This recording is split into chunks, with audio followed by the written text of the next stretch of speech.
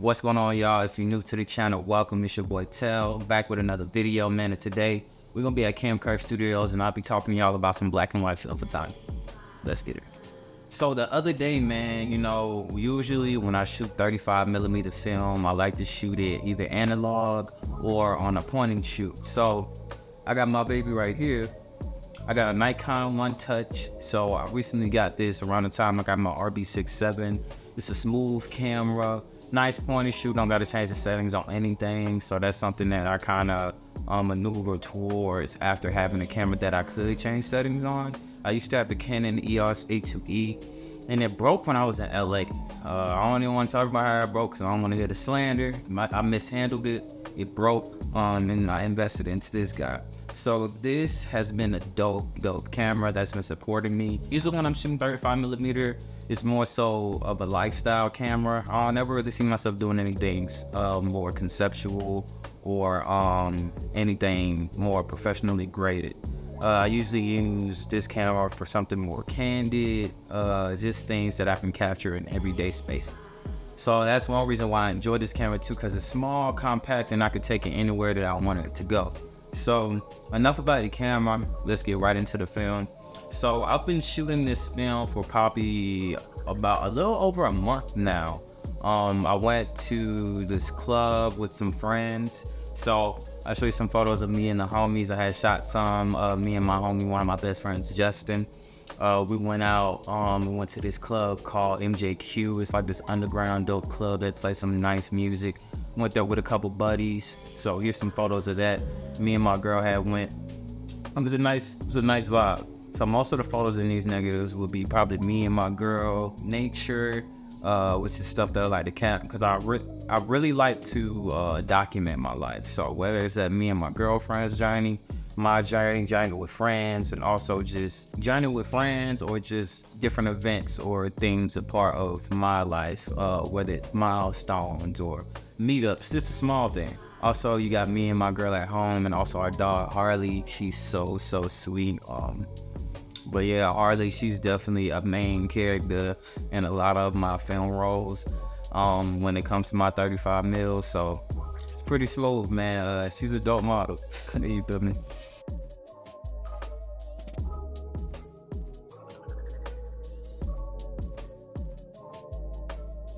Also, too, before I get any further, the film stock I shot with, it's this uh, Atlanta film company out here. It's my first time shooting it. I got it at Bellows Film Lab. And here's the film stock here. So it's some black and white film. Um, I forgot what speed was on it, but it will show it right here.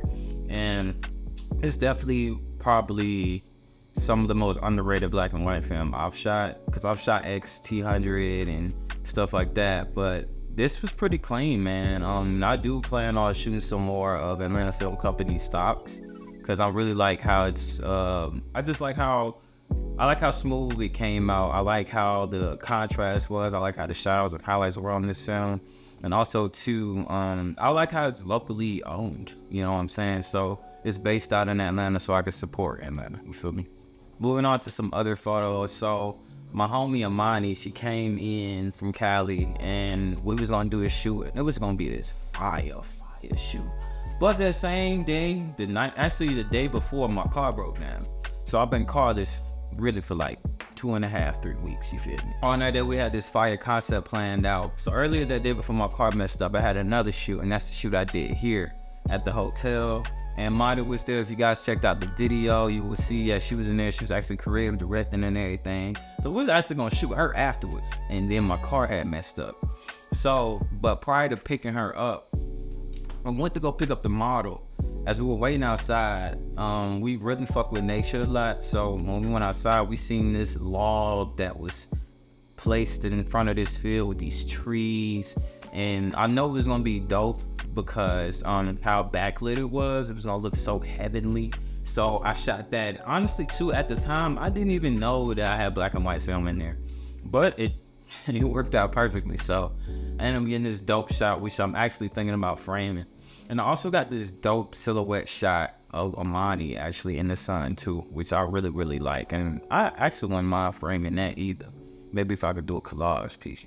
But you know, those are some clean. Those are probably some of my favorite shots on the stock for sure. Then of course, you know, you can't go wrong with you know your gas station photos. You know, I got this dope shot in front of Jay's Food Mart of this billboard, and I just like how. I just like how detailed everything is. I didn't think I would get much of a good quality through this camera, but it's so dope. Like and one thing too, throughout this roll, it was having some weird functionalities to it. Cause mind you, I've had this camera, like I said, since I had the RB67. So I think it was like since the beginning of June. So I've been shooting with it for a couple months now. But the only thing is recently that last I shot, I don't know if I put my film in maybe a little incorrectly or something, but when I was shooting, it would kind of like pause on the shutter and then roll like like it's like it's trying too hard. You feel me? It wasn't smooth or swift. So because I have a nice shutter, I love the shutter speed. Uh, I love the sound of the shutter on this. Then it has like a dope shutter to it. So once I was getting these scribbles on my Phantom, which was different. So I was shooting on different things in the sky, some landscape, and I was getting some cool little designs that was kind of peeking through in the landscape. So y'all check these out. So I was just getting different uh, vibes that was coming, but I really like capturing uh, the sun. I like capturing the land. I like capturing, but it was real different because these the film like kind of did its own thing. I was like, so what the hell going on with my camera? And I'm thinking my film might be fucked up in it. I was like, you know what? I'm just gonna keep shooting. So I shot literally like five to six more times and then did the same thing. And after that, it cleared up, but these the results I get. I'd also like to give a major, major shout out to my homies out at 40 Love. This is dope sock company that designs sock wear for different athletes and just athleisure apparel, you know. So they got some real dope comfy socks, man. They, they you know, they spotted me with a couple, you feel me? And it's been love, bro. So here's actually a picture of the founders of it, and I really like it because it gives this nostalgic feel. You feel me? Then Drea, she got like the old school Kobe jersey on, so it was cool. And Burks, I've been working with the guy on the left Burks for a minute, so um, I knew he was gonna put his uh, on something. You feel me? So uh, it was a dope little photo, and I think this would be cool, like to have them in a company fridge when they make it. You feel me? So why not? The last photo I actually took on this roll was a photo of me at the High Museum. So we have a museum out here in Atlanta, Georgia called the High Museum of Art. And it's one of my favorite museums out here. And I'll show you guys the photo that actually was presented because it was shot in black and white. So this photo right here was chosen uh, from us from Camp Kirk Studios.